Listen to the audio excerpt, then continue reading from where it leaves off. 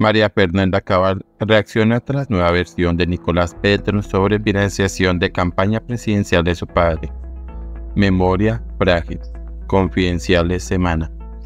Este jueves 14 de marzo, Nicolás Petro, hijo mayor del presidente Gustavo Petro, entregó al país una versión de los hechos que contradice todo lo que él mismo aseguró en el pasado sobre el ingreso de dineros a la campaña presidencial de su padre acabó de entregar por escrito los verdaderos hechos en los que se refiere a la campaña presidencial de mi padre y quienes lo rodearon. Esta es mi única verdad, dijo. El hijo del presidente aseguró que decidió entregar este escrito y hacerlo público para aclarar y desglosar el contexto de lo que realmente sucedió.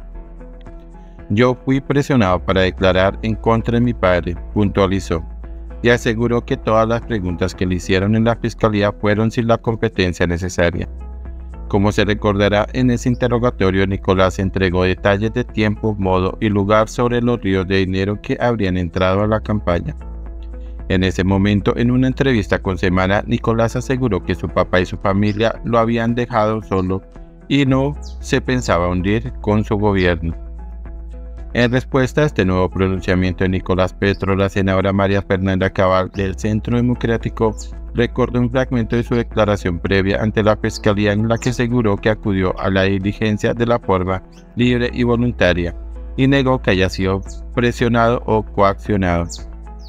Que la memoria frágil de algunos no implica que se sepa la verdad, dijo la congresista opositora.